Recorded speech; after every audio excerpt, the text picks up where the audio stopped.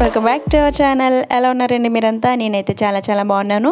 ఈరోజు వీడియో అంటూ మీ అందరికీ అర్థమైపోయింది కదా? ఒక మంచి హెయిర్ గ్రోత్ ప్యాక్ చూపిస్తున్నాను నేను. ఈ హెయిర్ గ్రోత్ ప్యాక్ కోసం నేను ఫస్ట్ మెంతులు తీసుకుంటున్నాను ఇక్కడ. మెంతుల్ని బాగా వాష్ చేసేసి వీటిని ఓవర్ నైట్ నానబెట్టుకోవాలి. నాది కొంచెం లాంగ్ హెయిర్ కదా నేను ఎక్కువ మెంతులే వేసుకున్నాను.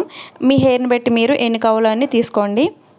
నెక్స్ట్ డే మార్నింగ్ మనం నానబెట్టుకున్న మెంతుల్ని మిక్సీ జార్లో తీసుకోండి ఈ విధంగా. వీటితో పాటు ఇంకొన్ని ఇంగ్రీడియంట్స్ కూడా నేను ఇందులో యాడ్ చేస్తున్నాను చూడండి. మెంతులు మన హెయిర్ గ్రోత్కి చాలా బాగా ఉపయోగపడతాయండి. మెంతుల వల్ల వెంట్రుకలు పొడిమారడం హెయిర్లో దురద స్కిన్ ఇన్ఫెక్షన్స్ ఇవన్నీ కూడా తగ్గుతాయి. ఇందులో ఉండే పొటాషియం హెయిర్కి మంచి పోషణ అందిస్తుంది. ఇందులో నేను నాలుగు స్పూన్ల పెరుగు కూడా యాడ్ చేస్తున్నాను. దీనివల్ల ఏంటంటే డాండ్రఫ్ తగ్గుతుంది. పెరుగులో ఉండే పోషక గుణాలు డాండ్రఫ్ని తగ్గిస్తాయి. ఇందులో నేను కరివేపాకు ఒక గుప్పెడు కరివేపాకును యాడ్ చేస్తున్నాను. జుట్టు నల్లగా ఉండడానికి వైట్ హెయిర్ రాకుండా ఉండడానికి కరివేపాకు మనకి చాలా బాగా ఉపయోగపడుతుంది. అలాగే ఇందులో నేను ఎగ్ వైట్ కూడా యాడ్ చేస్తున్నాను. దీనివల్ల మన హెయిర్ సిల్కీగా చాలా హెల్దీగా కనిపిస్తుంది. ఎగ్లో ఉండే పోషక గుణాలు హెయిర్ గ్రోత్కి చాలా బాగా ఉపయోగపడతాయి.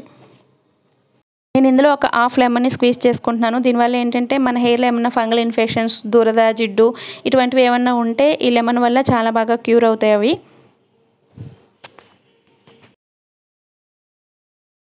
ఇప్పుడు వీటన్నిటిని మిక్సీ పట్టుకోవాలి. వాటర్ యాడ్ చేయకూడదు.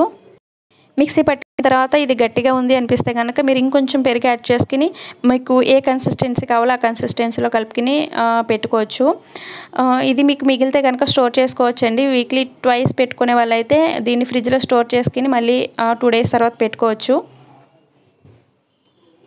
నేను ముందు రోజు నైటే హెయిర్ మొత్తం ఆయిల్ అప్లై చేసుకున్నానండి. ఆయిల్ అప్లై చేయని వాళ్ళు ఏం చేస్తారంటే ఈ హెయిర్ ప్యాక్లోనే రెండు స్పూన్లు కొబ్బరి నూనె యాడ్ చేసేసుకోండి. నేను హెయిర్ ఆయిల్ అప్లై చేసుకున్నాను కాబట్టి అందులో కొబ్బరి నూనె యాడ్ చేసుకోలేదు నేను. ఈ విధంగా మొత్తం స్కాల్ప్ అంతా పట్టేలాగా ఈ హెయిర్ ప్యాక్ని పెట్టుకోండి. నన్ను ఇద్దరు ముగ్గురు కామెంట్స్లో అడిగారు హెయిర్ హెయిర్ గ్రోత్ కోసం ఏమైనా వీడియోస్ చేయండి? లాంగ్ హెయిర్కి అయినా ఏ విధంగా అప్లై చేయాలి? అని కూడా ఒకళ్ళు అడిగారు. సో డెఫినెట్గా అది కూడా చూపిస్తాను.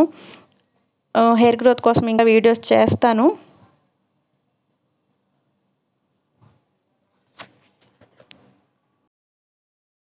ప్యాక్ మొత్తం అప్లై చేసుకున్న తర్వాత ఒక హాఫ్ అన్ అవర్ మీరు అలా వదిలేస్తే అది మొత్తం డ్రై అయిపోతుంది.